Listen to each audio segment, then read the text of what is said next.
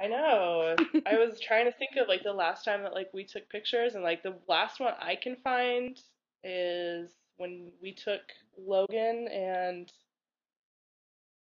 Hannah to the zoo, or to, not to the zoo, but do you remember that Northwest. that? Northwest? Yeah, Yeah. that's the last one I can find of like me and Logan, and then like I have one of like when Logan I was watching Logan one time and we were sleep he was sleeping and I faked slept so I could take a picture. so cute. He was so tiny. He was just And he was, he was a little baby. just snuggled right here. so I take a picture. And that was it. So yeah, there's no recent pictures of us at all.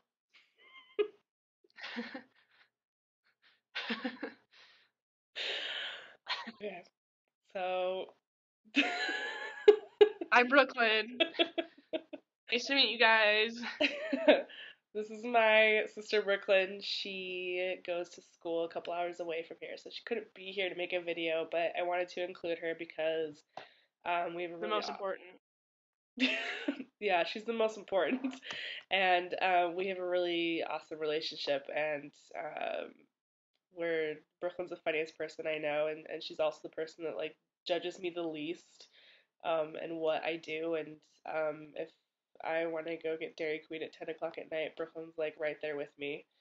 She's she's totally game for it. So um, I have a couple pictures we're gonna talk about, and the one thing that I think with Brooklyn and I that I've always been sad that we've never been able to do is like you and I've never been able to like shop at the same store or like I always felt bad Share clothes. clothes like when you were you know like when you were in like high school and stuff like you could never come raid my closet because obviously I have better clothes than you and and I could never go raid your closet like you and I can't even fit into the same shoes because my feet are too wide um Yeah. and that always sucked and um and like I don't know if and then like when you and I go shopping together how I always hand you clothes that I think are cute that you usually think are really ugly and um I always want you to try them on for me because I would never buy them and I can't but um but I want to see what they look like on and I don't know if you know this but when we went on our trip to spring break um, we were Mhm. in that's one of the stores in the outlet malls, and it was where you got that like blue dress at. And I was holding your dresses outside of the fitting room, and a lady came up to me and asked me if I wanted a fitting room. And I was like, I remember you telling me that. I was like, no, I was like, I'm not. I like people don't get it. Like I'm not an idiot. I know. I know. I don't fit into these clothes. Like I get it. Um, and it was just like, you don't need to pity offer me a fitting room. That's rude. Yeah. So that's those are. I know you don't do emotions, but I wanted to, since you're so stressed out, this is the perfect time. Um, I wanted to ask you like how you think that mm. my and like for me like it's not even being the size necessarily. I just want to be healthy, and obviously in this world you're not gonna be healthy at this size. So for Yeah. me it's just about being healthy. But I want to ask you in like ways that you think that my weight or size has hindered me. Like Well, I mean, I like I don't know. I definitely think it has hindered you, and like my first thought is kind of like the dating world. Like yeah. I know that you are. I mean, you know that you've said like if I wanted to, you know, run I- down to a local bar and whatever. I know that You know I can find mean? someone to have a one night stand with. I don't, but yeah, Yeah. I know. I don't Um, want that. I want the relationship, but I can't find anyone who wants that. Yeah. And like I'm always I guess you know how if I if I'm dating somebody you kind of look at them as a little brother. I guess when if you were dating somebody I would kind of see him as an, a big brother. What if I So was a how lesbian? you want a little or older sister. Fine. Fine. I'd like to see mom's face when you tell her you're a lesbian though. Not a shot. Never gonna happen. um you know, I I I know you know this, but I think it's just become apparent like when we go into stores and people look, it's just kind of like I get really defensive about it. I just want to be like, what are you looking at? Haven't you ever like, a fat girl walk into a store? yeah, and like you can you know you can make jokes all you like I can make jokes all you want. You always tell me that, and you can make jokes all you want, but like, you know, it still hurts me to see people like judge you about it, and um, you know, people have made comments to me in the past, and it's just kind of like you know you don't really know what to say when people are like, "Wow, your sister, she's overweight." It's like, what? She is? Like, no, no. Oh, and it's just it's frustrating to see you go through it and you know i don't know how to help and i know that you have said like if i if i if i just got all the weight taken away from me it wouldn't help because i still have this love for food and it's just kind of like you know it's an internal struggle and i know that i struggle with it and it's just kind of like nobody can help you but yourself so i guess like i just am waiting for you to wake up and like want to be here for my wedding and you know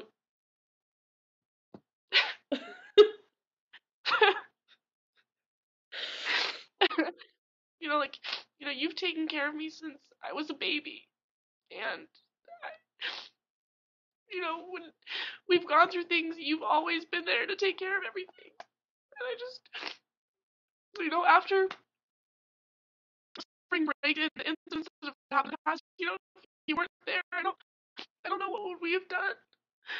And I just need you I need you to be there to take care of me. Call it selfish but this is all really about you.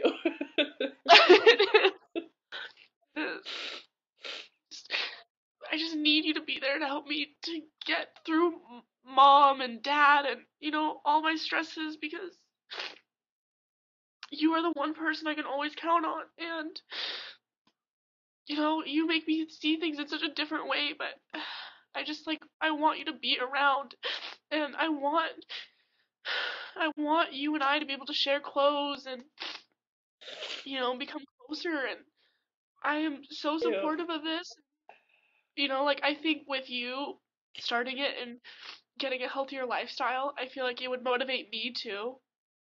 You know, especially in the summer. Like I don't know if you know this, but I'm gonna be hanging out with you a lot during the summer because my friends are gonna be up here in Moscow or you know wherever they live, and I will be at home. So I just like want you to realize that I've never come up to come to you and asked you like, could you please just lose the weight, you know? Um, but I I've never tried to point it out or talk about it with you because I was just scared of like what you were gonna say and and I know the struggles you've had with it, but I'm asking you as a sister, you know, I need you and I know I don't tell you that all the time, but I you know, I need you there for me and I you know, you're my best friend and I love you with all my heart.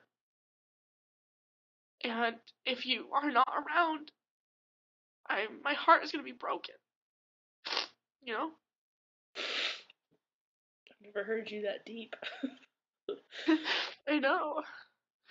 I know. But I love you and you know, I, I realize this is gonna be a struggle and you're gonna wanna give up and you know, like you always tell me, like just fight through it and you'll get through it. Mm-hmm. Okay. So uh, I am at school right now, and I just thought I'd show you guys a little bit of the daily struggles I go through with my weight and going to school. Um, this is one of the buildings my classes is in. Um, my classes are upstairs, up these stairs. Um, there's an elevator over there. Um, I don't go up the stairs. It's probably quicker, it's probably faster, but I definitely don't go up the stairs because I don't want to be the big girl sitting in a classroom, hot and sweaty and out of breath from going up the stairs. So we're gonna go take the elevator upstairs, and I'll show you what um, going into a classroom is like and how I struggle with that.